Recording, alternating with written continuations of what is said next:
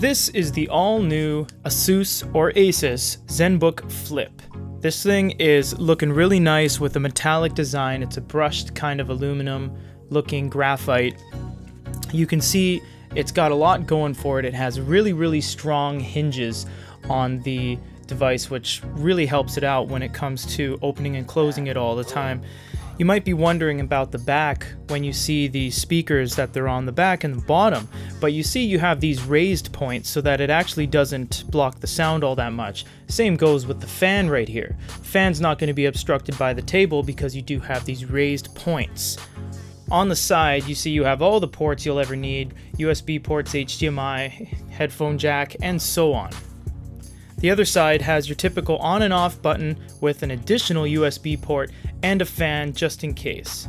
You have a soft touch with clicking and you do have a fingerprint scanner as well or fingerprint sensor to allow you to lock and unlock the device. The keyboard feels very nice to type on and the keys feel just fantastic, but the screen has a very large amount of glare on it, so you will have to be careful. So in this video, we're not going to show you how this performs as a laptop because basically that's not why you come to us. You don't come to us to see the specs of an Asus laptop. That's not why you go to goodereader.com. We're going to look at uh, some books, some PDFs, we're going to look at an audiobook and some uh, graphic novels and manga and whatnot. So we got the Amazon Kindle app here, uh, Kindle for PC.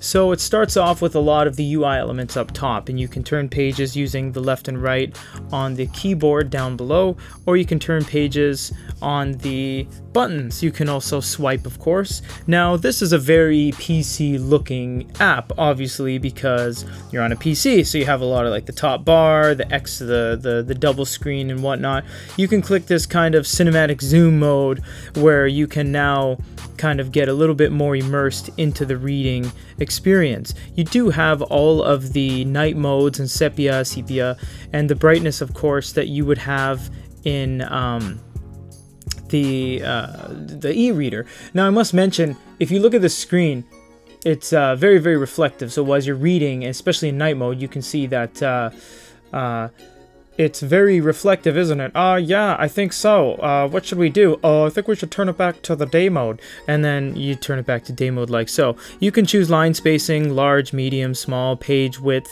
which is basically margins and whatnot. And then you can obviously slide through the book. You do have all the abilities to do long presses, search in Wikipedia, search in the web, and in this case it opens up the web browser and allows you to search very quickly.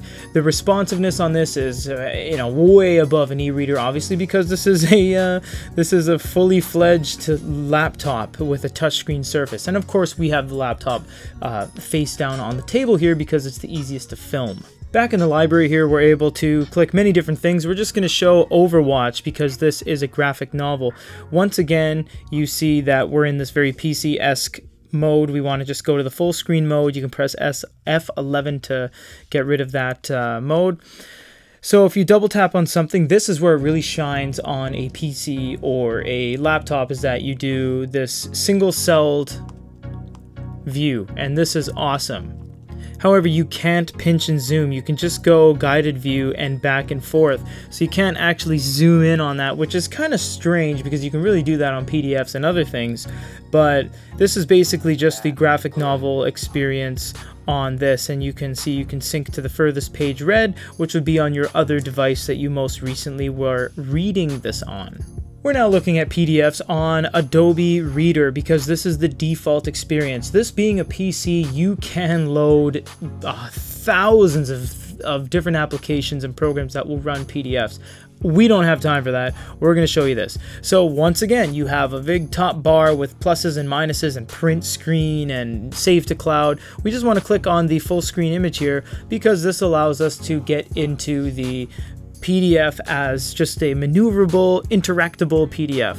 So as you're scrolling by here, it's not left to right, it is endlessly scrolling, which is kind of nice because um, it does, as you see, we're cut off because there should be more image down below, but that is made up for when you actually scroll up and down. So that's really cool. I kind of like this better than there being a small little screen uh, square on the screen. This is much nicer.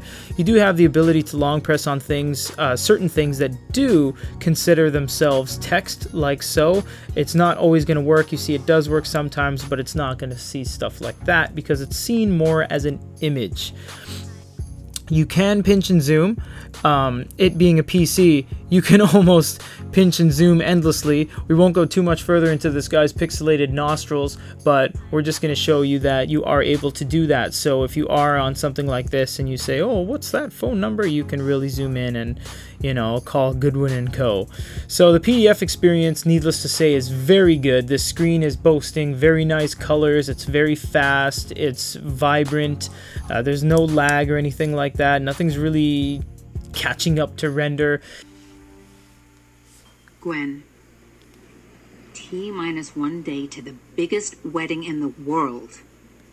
Standing on the sidewalk outside the Grand Hotel, Gwen Parker squinted into a surprisingly bright Friday morning in the centre of London and confirmed her decision to give her latest crazy scheme a shot. Crazy had already proven to be surprisingly effective.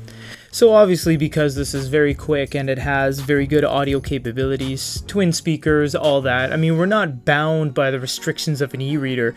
We do have the ability to listen to audiobooks very clearly, very quickly, no lag, nothing like that. Now, um, I hope you guys enjoyed this review. A lot of you are saying, well, this is a, an ASUS tablet. Show us what it can do. I mean, well, this we're good e-reader. We show e-readers and we show, uh, you know, the reading experience primarily. You're not coming to us to see this review playing the latest games and playing HD movies because that's simply not the point. We showed you the hardware. We showed you that this thing can read. It can listen to audiobooks, manga, uh, ebooks, of course, graphic novels, PDFs, pretty much anything you throw at it, this is going to be able to deliver. So if you guys have have any other questions, comments, or concerns, you want to see anything else on this fantastic uh, two-in-one, basically, it's not detachable, but it is a full touchscreen surface. It does have the ability to do touchscreen, and it has the full keyboard down below, which we kept hidden throughout the review because obviously uh, this is not an easy thing to film, especially due to the high reflectivity of the screen. For goodereader.com and a review on the reading experience and quality of reading and listening to